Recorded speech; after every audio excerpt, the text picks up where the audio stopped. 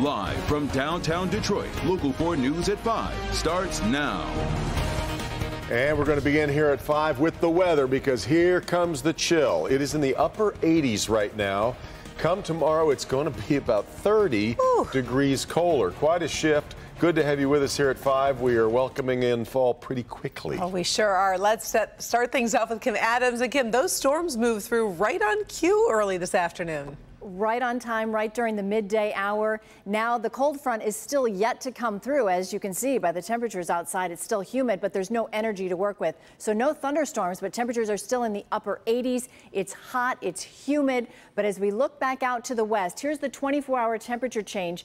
It is 24 degrees colder in Minneapolis right now than it was at the same time yesterday. And all that cold air behind the front is headed our way. So here's what we expect this evening. If you're going out, if you have baseball, football practice, it's still hot and humid. It'll take a while for this front to get through and that cool air to settle in, but once it does, it's in here big time. By midnight tonight, down to 71 degrees. It's tomorrow morning that we are 30 degrees or more cooler. 54 degrees at 8 a.m.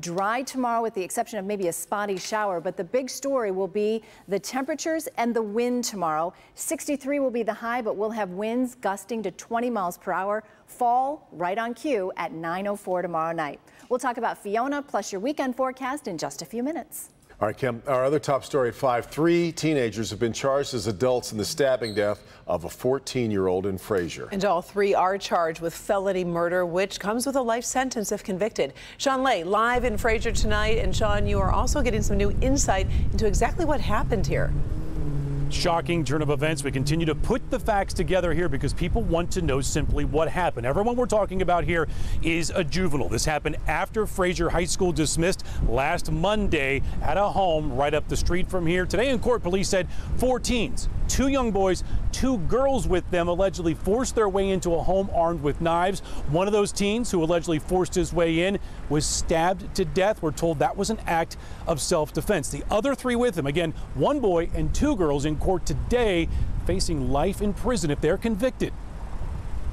People versus Isabella Bridges. In court today, a Fraser High School student named Isabella Bridges. We are told she is 15. You're seeing her because the Macomb County prosecutor is charging her as an adult with felony murder, felony home invasion, assault, and battery. Also in court, her friend and classmate Emma Morgan. We're told she is 16 and she is also charged with felony murder, home invasion, assault, and battery. A 16 year old classmate of theirs, Colin West, his video arraignment wasn't posted online. Fraser police will not release his photo. He's also charged with felony murder, home invasion, and assault. Police say all three, along with Fraser High School freshman 14 year old Trent Redstrom, forced their way into this home to attack two Fraser High School male teens and other girls who were there with knives. Forced entry was made via the back door with all four of them.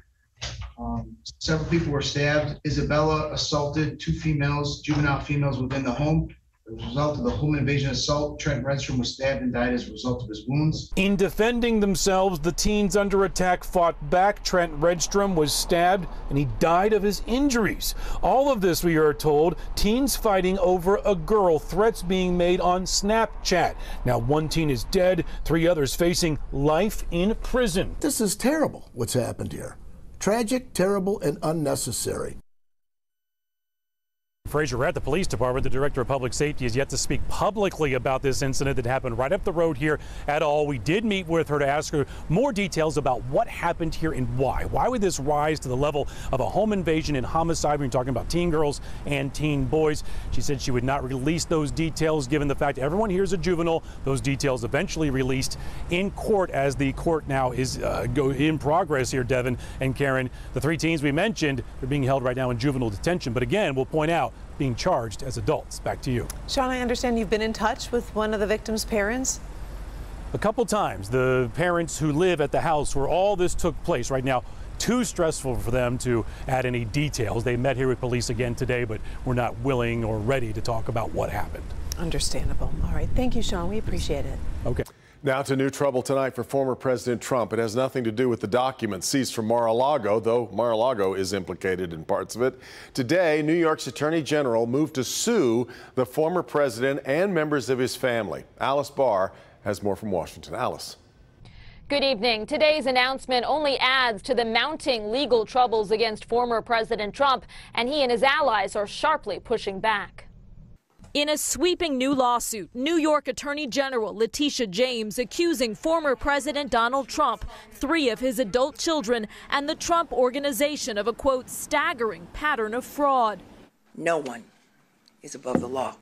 The 220 page suit details allegations that the former president lied to lenders and insurers for more than a decade in a scheme to inflate his personal net worth by billions of dollars and secure better loan agreements.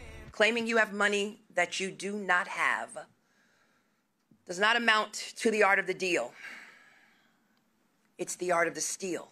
James wants a judge to permanently bar the Trumps from running any New York company or receiving loans from any New York registered bank for five years. And she's seeking $250 million in penalties. Nobody goes to jail as a result of this. It's a civil lawsuit.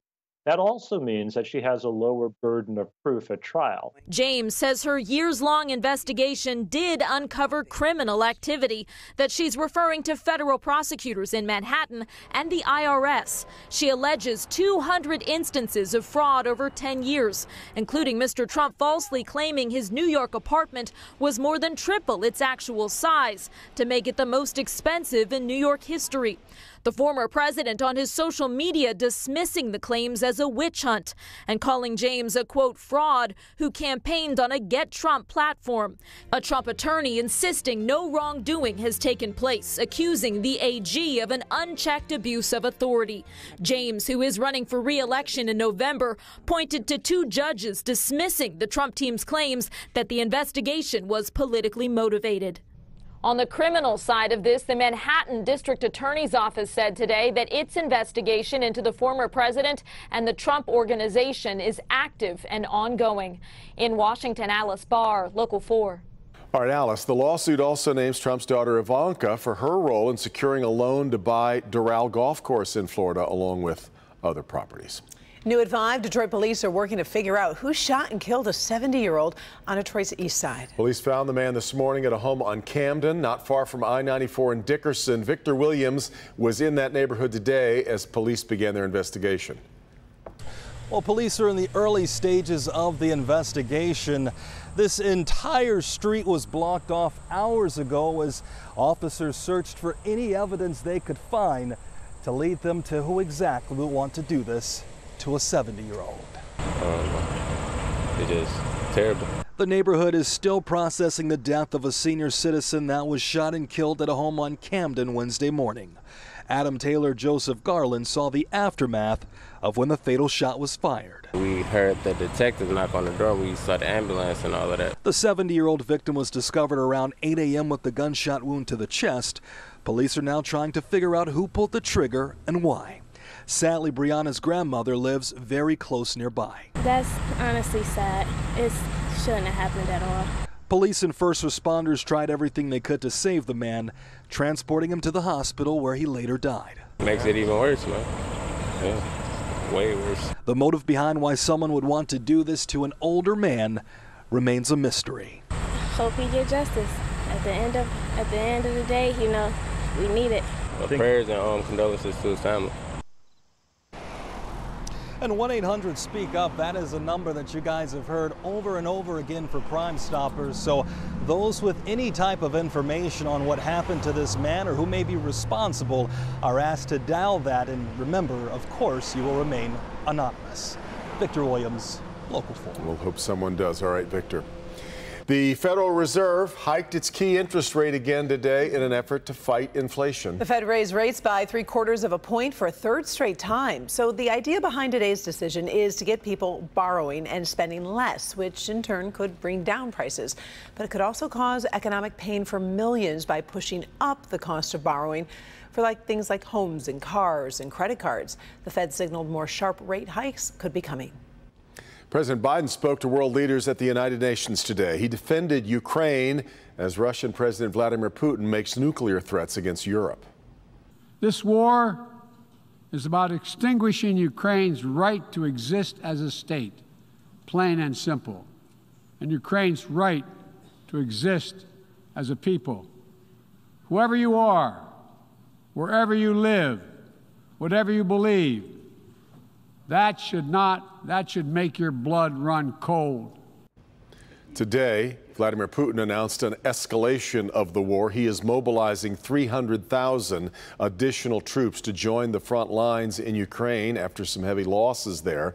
Putin also appeared to threaten nuclear retaliation if Kiev continues its efforts to reclaim territory taken by Russian troops.